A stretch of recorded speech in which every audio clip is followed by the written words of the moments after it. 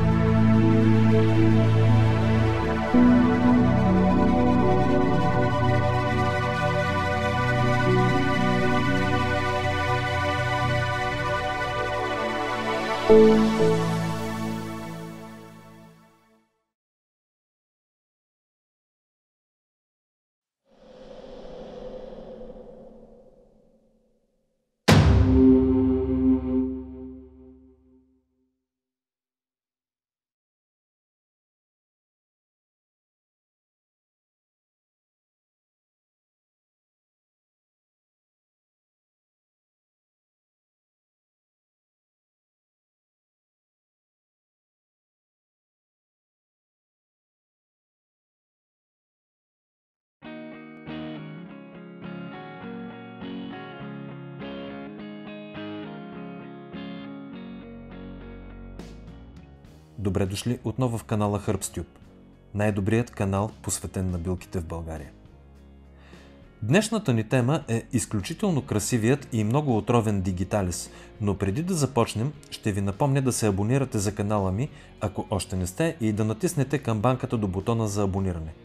Така няма да пропуснете нито едно от страхотните видеа, които предстои да продължа да правя за вас. Дигиталесът е трависто растение от род покритосеменни, семейство живовликови.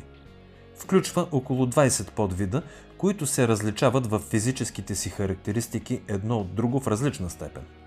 Освен като дигиталис, растението е известно и с народното си наименование напръсник, което пък произхожда от латинското наименование дигитис, означаващо пръст или напръсник. Прародината на дигиталисът е Европа, откъдето той се е разпространил из почти цяла Азия и Северна Африка – като декоративно растение е разпространен широко в Северна Америка и Австралия. Среща се най-често по перифериите на широколистни и смесени гори, сечища, хръсталаци и ливади. Предпочита богати влажни почви с висока киселинност. Стъблото на растението е високо, обикновенно между 30 и 150 см, понякога слабо разклонено в горната си част. Листата са редуващи се, с продълговата яйцевидна форма с гладък или на зъбен край при различните подвидове, покрити с прости жлезисти власинки отдолу. Листата при основата са с дръжки, а стъблените листа са полупреседнали или изцяло преседнали към стъблото. Цветовете са събрани гъсто един до друг, като най-често са групирани в вретеновидно съцветие, разположено в горната част на стъблото. Цветните чашки са с изразено камбановидна форма и притежават по 4 тичинки. Растението е двуполово и произвежда голямо количество прашец. Освен това, дигиталисът е медоносен. Интересен факт е, че цветовете му често служат за убежище на различни насекоми в по-студените нощи, което спомага за опрашването му. Цветовете при различните вариетети биват от почти бели до наситено лилави на цвят. Въпреки, че съществуват понякога значителни физически разлики между различните подвидове дигиталис, в химико-фармацевтичните си качества те са практически еднакви.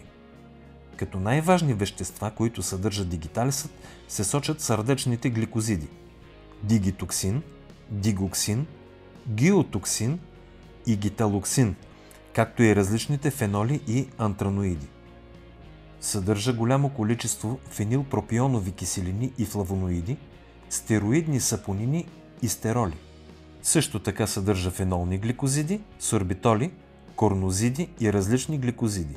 Според различните източници, лечебните свойства на дигиталисът са известни от около 4000 години. По-надежна информация обаче имаме от 5 век след новата ера.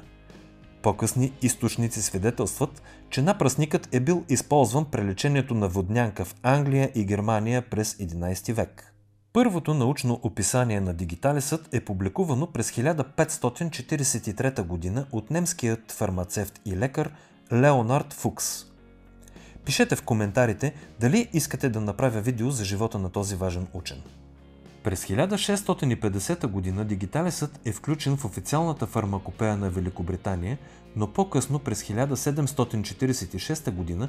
е изключен от медицинската практика за известно време поради честите случаи на отравяне. Това положение се променя от откритието на английският лекар Уилям Уидеринг, който решава да проучи твърдението на народен лечител от Шропшир който употребявал растението в рецепта за лечение на сърце, използвана в семейството му от поколения. В резултат на експериментите си доктор Уидеринг изолира гликозида дигиксин, на който растението дължи главният си терапевтичен ефект. През 1785 г. той представи откритието си в книга и доклад пред Кралското научно общество.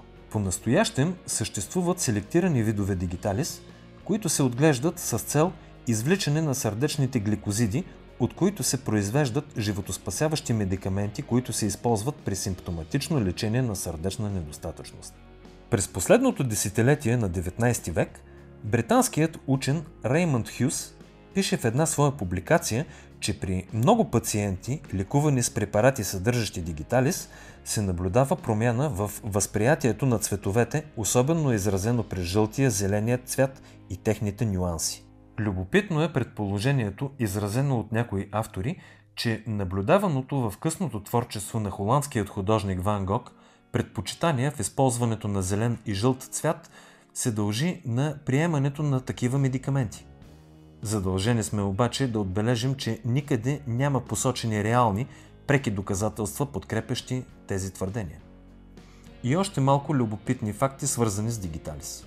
През средновековието в Германия е било популярно поверието, че елфите използват цветовете на дигиталиса за шапки, а в Ирландия вярвали, че лисиците слагат на пръстите си цветовете като напръстник, за да се прокрадват в кокошарниците още по-безшумно.